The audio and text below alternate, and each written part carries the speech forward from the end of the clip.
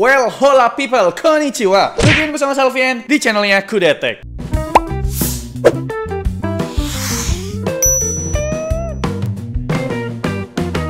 Kalian cek. Di toko ijo. Atau toko oranye gitu dah ya kan? TWS budget banyak banget pilihannya bre. Walaupun gitu tiap produknya rata-rata terjual lebih dari 10.000 unit. Gila sih emang ya market TWS 100.000 Kagak ada matinya coy. Tapi bang kan biasanya barang murah cepet rusak.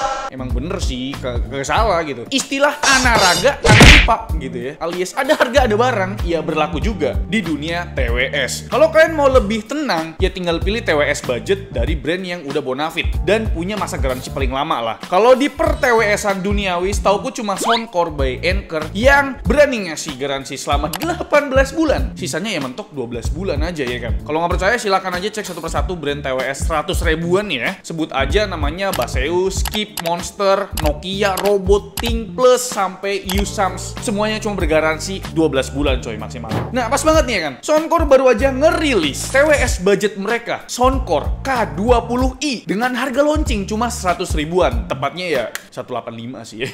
Nanti di komen. Itu mah kagak 100 ribuan bang. Itu 185. Iya. 185 ribu. Tapi perlu dicatat nih ya kan, harga spesial ini cuma bisa kalian dapat kalau kalian beli di TikTok shopnya Anchor Indonesia. Kalau kalian nggak punya TikTok karena memori HP udah kepenuhan, uninstall aja dulu game Mobile Legends di HP kalian yang ranknya masih epic abadi itu. Malah ngina nih ya kan. Maaf, maaf.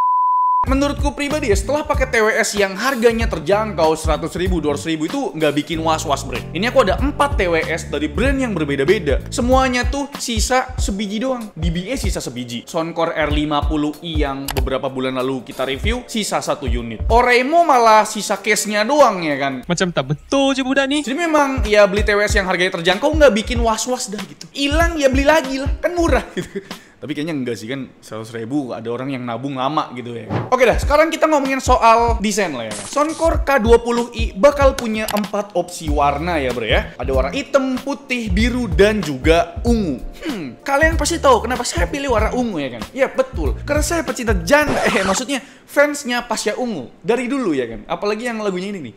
Segala hal hidup Balik lagi ngebahas desainnya bre. Tampilan case dari produknya Soundcore selalu menyenangkan buatku pribadi yang emang udah memasuki quarter life crisis udah mau 25 tahun ya udah dewasa lah gitu ya kan. Minimalis gitu bre. Bahkan emos brandingnya dibuat samar-samar kan. Nggak mau show off sama sekali bre. Finishing case-nya tuh glossy yang secara alhamdulillah bisa menyamarkan bercak sidik jari ya nih. Kaum hyperhidrosis nih kayak aku nih suka nih ya kan yang sering keringatnya gitu. Tapi jujur nih ya build quality case Soundcore K20 ini masih di bawah R50i ya kan. Feel plastiknya berasa banget bre ya kan. Apalagi pas buka tutup case ya kan bunyi cetaknya nih loh Nah, main ganggu gitu. Harus ditutup pelan-pelan nih ya, biar nggak bikin orang nengok gitu ya kan. Masa desainnya udah nggak show off, tapi pas dibuka tutup masih ya show off gitu kan. Kalau buat TWS-nya berjenis stick open yang nggak punya ear tips gitu ya. Tapi si Soundcore sih nyebutnya semi in-ear design. Wah, lawe ya kan. Pasti noise cancellation-nya kurang ya kan. Betul bre. Ini jadi salah satu kelemahan ya kan. TWS berjenis stick open ini. Tapi pada kenyataannya nggak semua orang butuh noise cancelling ya kan. Buktinya, AirPods by Apple aja banyak yang pakai desain TWS stick open begini ya kan. Dan faktanya laris-laris aja gitu bre. Opini dariku ya, target pasar TWS berjenis stick open ini ya orang-orang ekstrovert yang selalu berusaha aware sama lingkungan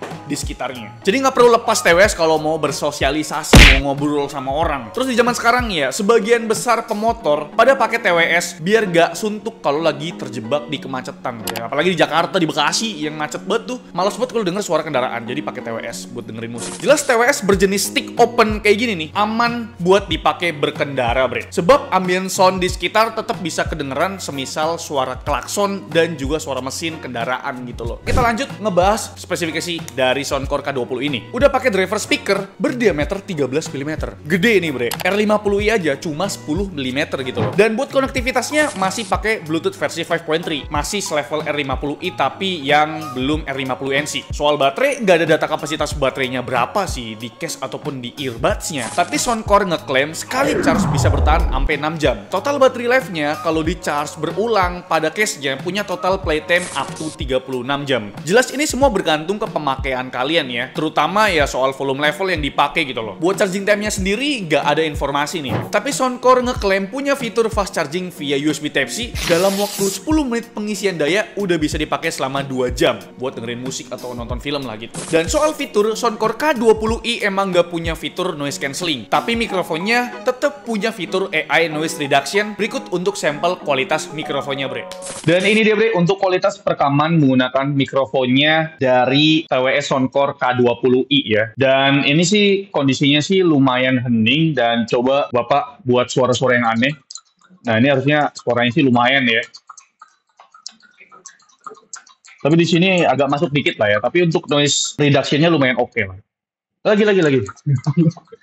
Nah, gimana menurut kalian untuk kualitas mikrofonnya dari Soundcore K20i? Emang agak robotik ya, wajar karena memang ini wireless ya. Tapi untuk sound apa noise cancellation-nya ini lumayan oke okay lah untuk mikrofonnya, noise reduction-nya. Dan fitur kedua jelas software mereka yaitu Soundcore yang bisa kalian download di App Store dan Play Store. Selalu seneng ya sama aplikasinya Soundcore ya kan. Soalnya bisa terkoneksi ke hampir semua TWS-nya. Bahkan TWS harga 100 ribuan ini aja punya software-nya gitu loh. Mirip sama Jihab di Logitech lah. UI dan UX-nya ringan, tapi informasinya tetap lengkap. Bahkan detail warna produk tetap tercantum. Daya dari tiap earbuds-nya tetap ada gitu loh ya kan. Di sini opsi menunya cuma ada tiga ya. Yang paling menarik jelas menu sound effect yang punya 22 opsi equalizer dan kalian bisa custom sendiri juga equalizernya. Terus ada menu control buat customize touch controlnya dan ada dangle gaming mode yang bakal neken latency biar gaming experience-nya lebih real time. Tapi bre, pas kalian aktifin gaming mode, fitur equalizernya gak bisa dipakai. Sayang sekali ya kan. Fitur selanjutnya yaitu IP ratingnya berupa IPX5 yang berarti splash proof. Jadi kalau dipakai hujan-hujanan sih harusnya masih aman gitu atau kena cipratan air keringat itu masih aman. Kira-kira itu dia ya detail atau ulasan mengenai spesifikasinya dan sekarang kita akan beritahu ke kalian mengenai fitting, sound quality dan kesimpulannya gitu ya. Pertama kita ngomongin fittingnya ya kan di telinga di daun telinga itu gimana ya kan. Tiap budsnya itu sekitar 4 gram untuk bobotnya dan pas dipakai memang gak begitu ngigit di telinga ya. Kayak kurang gitu bre. Aku pribadi kurang suka ya sama model stick open kayak gini ya kan. Dipakai di helm takut lepas, dipakai tidur mereng dikit langsung lepas gitu ya. Tapi emang cocoknya ya buat orang-orang yang bentuk tragus telinganya agak lebar sih ya. Tragus telinga tuh ya kayak gini nih bre contohnya ya. Kalau bentuk tragus ini besar ya, otomatis bakal bisa ngejepit unit budsnya ini. Dan sekarang kita ngomongin sound quality-nya dari Soundcore K20 ini. TWS berjenis stick open kayak gini nih ya, itu bergantung banget sama positioning gitu ya kan. Pas baru pertama kali nyoba, ini sih lebih dominan di bagian bassnya ya, di lower frekuensi. Pas denger lagunya Seza yang Kill Bill, bener-bener vokalnya ketutup sama bass.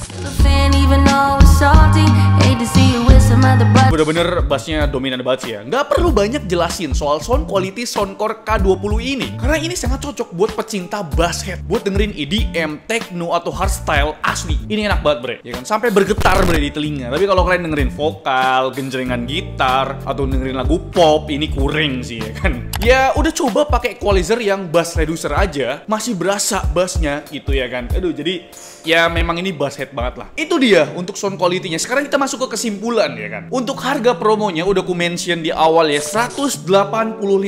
Tapi kalian perlu catat lagi nih ya. Periode promonya cuma berlaku dalam waktu 25 Juli sampai 31 Juli di TikTok Shopnya Anchor Indonesia. Pertama kita mau bahas nilai plus dan minusnya. Nilai plus pertama tentu harganya yang termasuk kerehore kronis dan soal masa garansi 18 bulan. Brand lain masih belum bisa ngelawan garansinya si Soundcore ini. Terus nilai plusnya mungkin sedikit bersifat objektif ya bre. TWS ini cocok banget buat pemotor karena ambient sound di sekitar nggak terisolasi total gitu ya. Masih kedengeran lah kita dengerin musik tapi kita tetap bisa dengerin suara di sekitar. Jadi ya biar lebih aware aja kalian tahu sendiri kemarin ada berita abang-abang jogging ketabrak kereta gitu ya. Karena katanya pakai TWS terlalu kedap gitu ya. Mungkin ini bisa jadi solusinya gitu buat teman-teman yang pengen aware gitu ya kan sama lingkungan sekitar. Dan selanjutnya mungkin buat para pecinta bass head, TWS ini sangat cocok untuk kalian karena memang ini fokusnya atau lebih dominan di bagian bass atau lower frekuensi ini mantap sih ya. Tapi tetap ada nilai minusnya ya, ya. TWS ini touch controlnya berasa sangat sensitif ya kan. Aku pakai buat tidur aja pas lagi miring dikit kena bantal langsung bunyi tut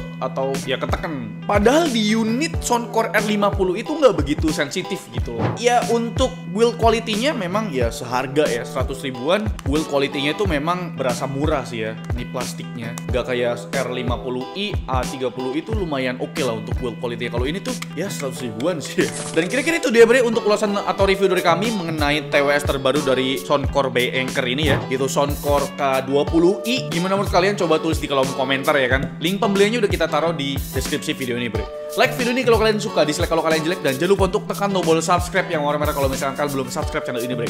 Selfie, host dan channel mengucapkan terima kasih. Sampai jumpa di video selanjutnya. Bye-bye!